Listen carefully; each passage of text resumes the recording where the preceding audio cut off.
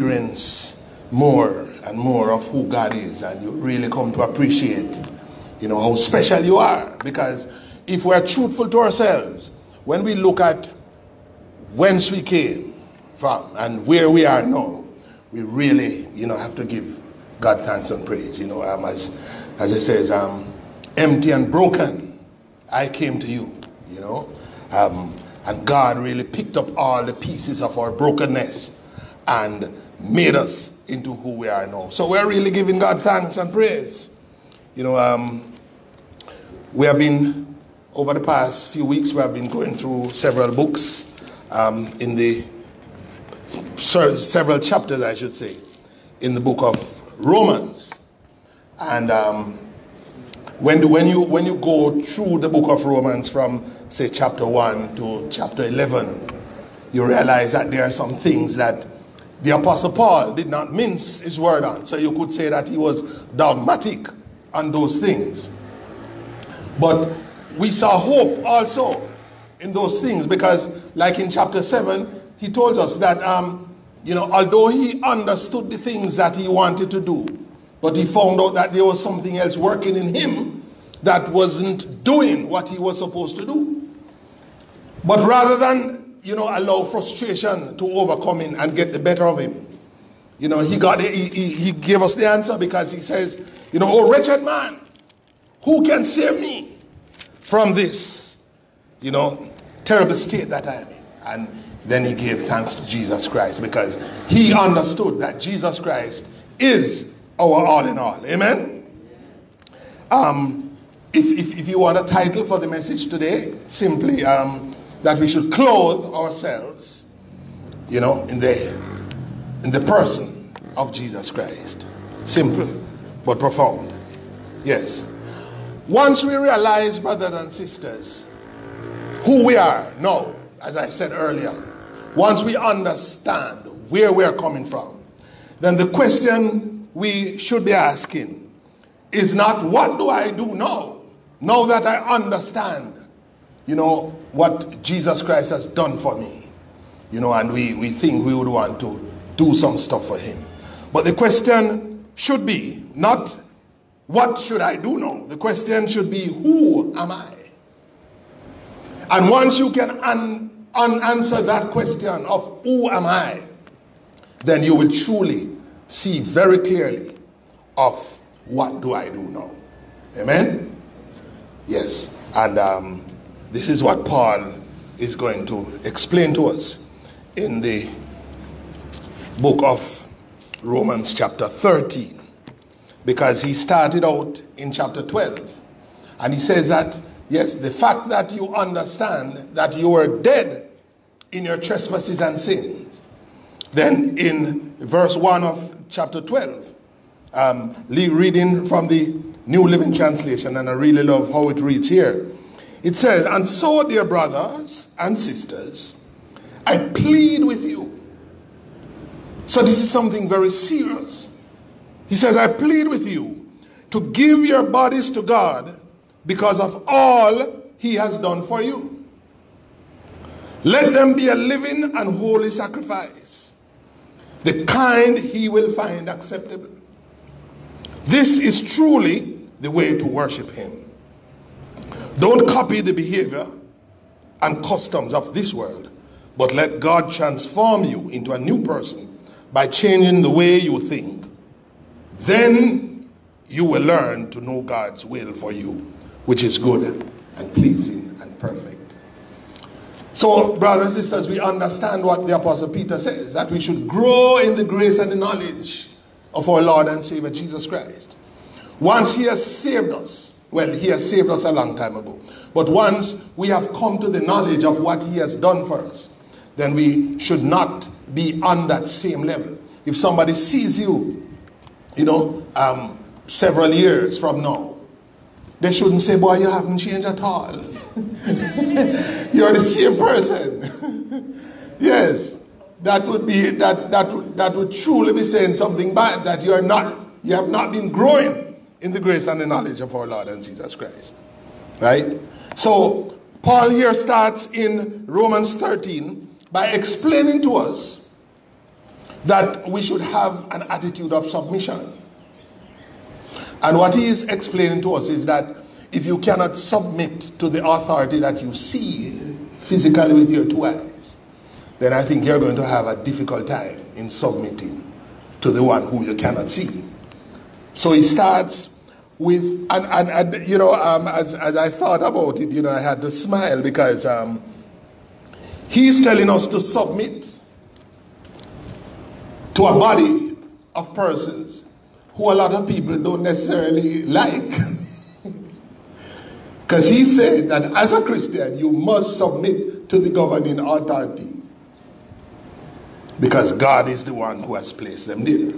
And what he's saying is that when you submit to him, to, to the governing authority, you need not fret if you are doing the right and proper things. I remember my grandmother used to tell me, you know, because I was afraid of policemen when I was a little boy. Even if they didn't carry a, a, firearm, they only had a baton. But just the uniform, you know, and most of them were tall, you know, because we were small, you know. But she was always saying, Courtney, if you do not do wrong, you don't need to fret about the policemen. So it's the same thing with the governing authority. If you abide by the, the rules and the regulations that they set down, then you'll be okay.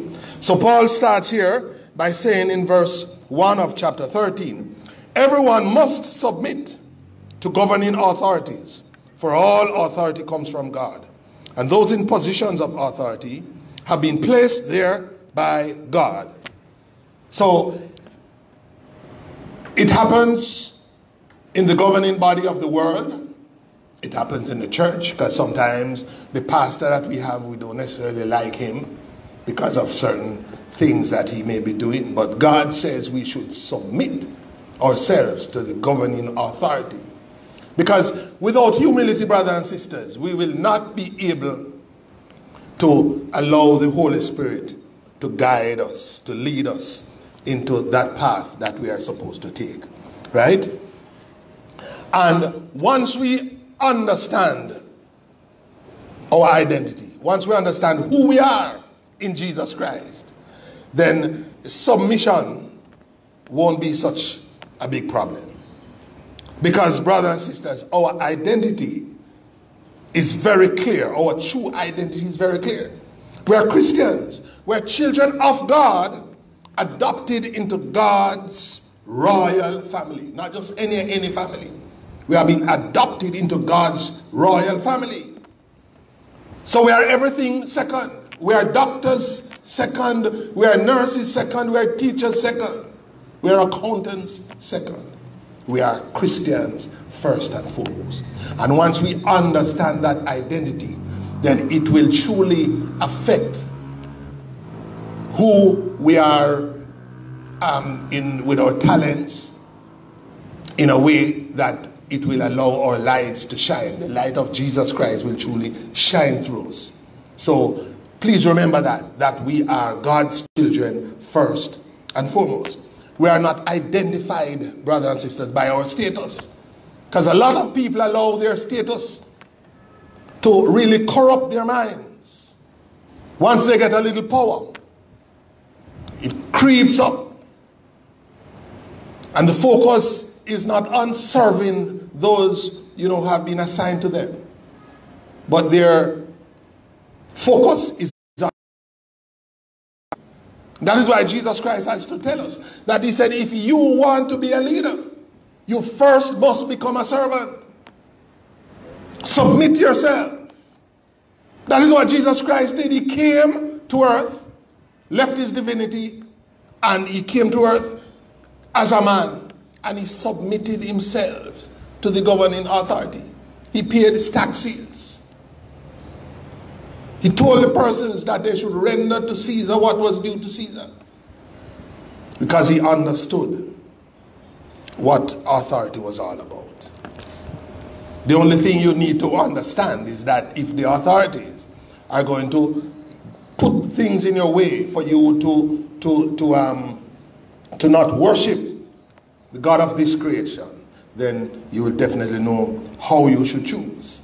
Amen? Yes. So let us continue in, in um, Romans chapter 13. Let us jump down to verse 8. And it is showing us, you know, brethren, that a transformation must take place once you have surrendered yourself to God. In verse 8, he says, Owe nothing to anyone except. So there's one thing that you need to be obligated to every human being on the planet. It says, Owe nothing to anyone except for your obligation to love one another.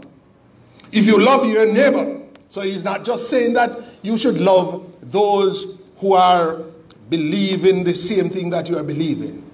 He's saying that the neighbors who you don't necessarily know as such, he's saying that your responsibility is to love your neighbor, and in so doing, you will fulfill the requirements of God's law. For the commandments say, you must not commit adultery, you must not murder, you must not steal, you must not covet. These and other such commandments are summed up in this one commandment love your neighbor as yourself. And he continues in verse 10 Love does no wrong to others, so love fulfills the requirements of God's law. You know, there's a story of a man and his wife, you know, and they just brought a place. And um, when they bought the place, they realized that um, the, the neighbor's pipe, you know, was just running around the back, flooding out their yards. And, you know, they went and they spoke to the neighbor, and, you know, the neighbor didn't spend any time, you know, trying to remedy the situation. But they were Christians. And the thought came to them, why don't we plant some stuff that needs a lot of water? So they planted some stuff, man, some vegetables, and the things just sprung up and, you know, bigger, man. And when it was time to reap, they reap and they knock up the neighbor. Say, come man, getting some blessing out of what you gave to us. So they say, no. They say, yes. All of that water that is flowing out of here, this is you know, the fruit from it. So enjoy. And that was that that attitude changed in neighbor because the pipe was fixed right away. Because they say love covers a multitude of sins. Cannot fight evil with evil. You cannot fight fire by fueling more um, liquid, um, combustible liquid onto it. All right? So, brothers and sisters, we really need to have that fundamental shift. And it goes right down because in verse 11, Paul tells us, he says, This is all the more urgent, for you know how late it is. When you see the times, when you see how man is, you know, getting more evil in the things that he do, we should understand that our salvation is nearer now than when we first began. So Paul is reminding us that this is urgent, urgent time No, We need to really get about doing what we need to be doing. Because he says, This is all the more urgent, for you know how late it is. Time is running out. Not in respect to our salvation, you know because we have see, we are saved already. But we have assigned, we have been assigned to be doing some stuff. If a change is not happening in us on a daily basis, how can the light of Jesus Christ shine through us that men may see our good works and in turn glorify the Father in heaven? Don't happen. So we need to really be about our Father's business. So Paul continues, wake up for our salvation is nearer now than when we first believed. Verse 12 The night is almost gone.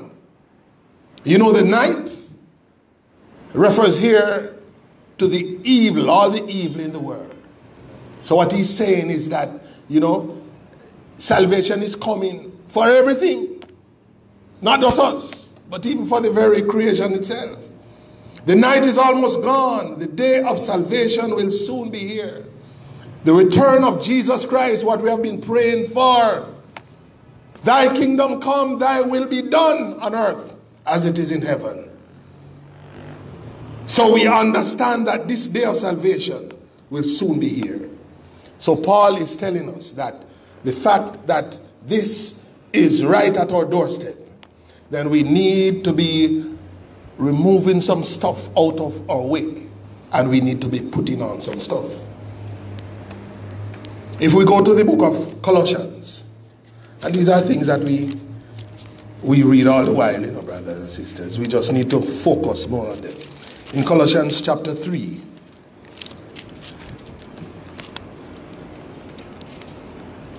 Paul tells us that we have a responsibility of living the new life that God has given to us. And in verse 1, he says, Since you have been raised to new life with Christ, set your sights on the realities of heaven, where Christ sits in the place of honor at God's right hand. Think about the things of heaven, not the things of earth. For you died to this life. You died to the darkness that has permeated the whole world. And your real life is hidden with Christ in God.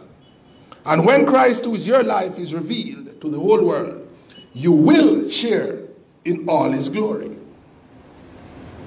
So Paul starts here now by telling us that we need to put off some things out of our lives because of what God has done to us. So in verse 5 he says, So put to death the sinful earthly things lurking within you. Have nothing to do with sexual immorality, impurity, lust, and evil desires. Don't be greedy, for a greedy person is an idolater, worshipping the things of this world. Because of these sins, the anger of God is coming. Verse 7 You used to do, you used to do these things when your life was still a part of the world. We used to do those things when we were still living in darkness. And that is what Paul is telling us in Romans 13 that we need to remove ourselves from this darkness because God has empowered us to do so through Jesus Christ.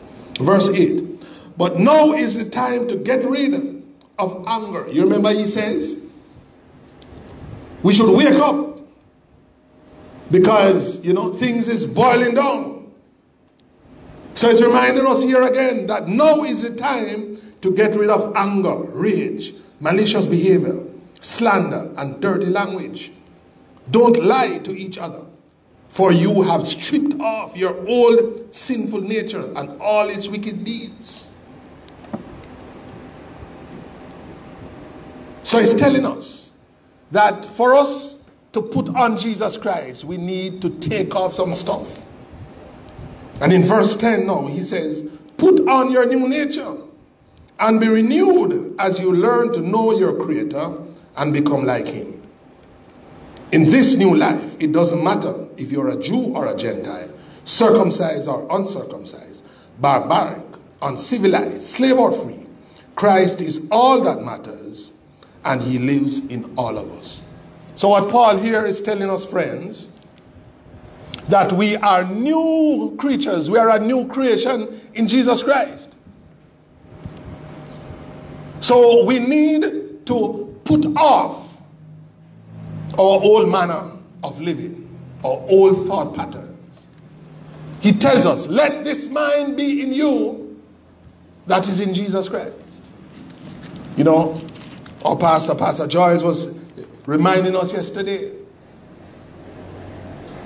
that for you to put on something, you have to become, actually become like the person that you're going to put on. Because when you do that, then you know you, you, you will experience all the, the, the newness that comes with being that person. Jesus Christ, we are commanded to put him on. Put him on. When we put on Jesus Christ, because some people may ask, how do I put on Jesus Christ? Jesus Christ made a promise to us. He says that He's not going to leave us as orphans. He's going to send the Comforter, the Holy Spirit, who will be with us. He will teach us of the things that He, Jesus Christ, told us. He will lead us into all truth. He will bring back to our remembrance the things that we have learned in our Bible studies. When you, when you allow the Holy Spirit to lead you, as he says, to transform your mind so that it is renewed, then the identity that is in Jesus Christ will slowly come cover you. And that is why Paul says in, in, in Romans um, 13, um, in respect to the, the, the light, it, it says in, in one of the um, um, translation that we should put on this armor of light. Armor meaning, you know, you clothe yourself. And it is that armor is going to give you protection because that is what soldiers used to do. They used to put on body armor that was made from metal that would, you know, when, when, when arrows and swords, you know, came at them, it would protect them. So this armor of light, this newness that we find in Jesus Christ, that is what Paul is explaining to us that we need to put on. So that when the fiery darts come about, we will be able to stand test of time. Because let us turn back to Romans chapter 13. And he, he says in verse 12 again, the night is almost gone. The day of salvation will soon be here. So remove your dark deeds like dirty clothes and put on the shining armor of right living. Because we belong to the day, we must live decent lives for all to see. And the day here represents Jesus Christ. Because you can see everything very clearly. It says, don't participate in the darkness of wild parties and drunkenness, or in sexual promiscuity and immoral living, or in quarreling and jealousy. Instead, instead, instead, brethren, clothe yourself, put on the presence of Jesus Christ and don't let yourself think about ways to indulge your evil desires. So once you put on Jesus Christ, you remember Jesus Christ was telling us, you know, of, of, of the story of this man who was demon possessed. And he was freed, he was released from that demon possession. And Jesus says, because the man did not replace it. He did not replace that emptiness now with something. What happened that his new state here now became worse than where he was because when the demons went about trying to find somewhere new and couldn't find, they said, let us go back and check to see if that place is still empty. And when they came back, it was empty, swept clean. And they came with their friends. So that man became worse off than we was. So what Paul here is reminding us is that once we put off the dark deeds of the world that we used to live in, we need to put on something. We can't stay naked. Because Satan, you remember the scripture says that he is going around like a roaring lion, seeking whom he may devour. So we need to be quickly be doing the things that we need to do by putting on Jesus Christ so that our true identity will be made known. Again, Paul tells us in verse 14 above all, clothe yourselves. Sorry, not, not, not um, Romans, in Colossians. Let us go back to Colossians chapter 3 and let us start in verse 12.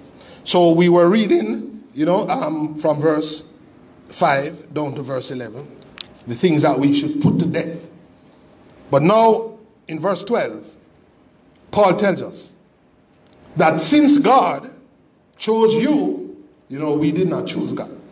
God chose you to be the holy people he loves, then you must clothe yourselves with tender hearted mercy, kindness, humility, gentleness, and patience.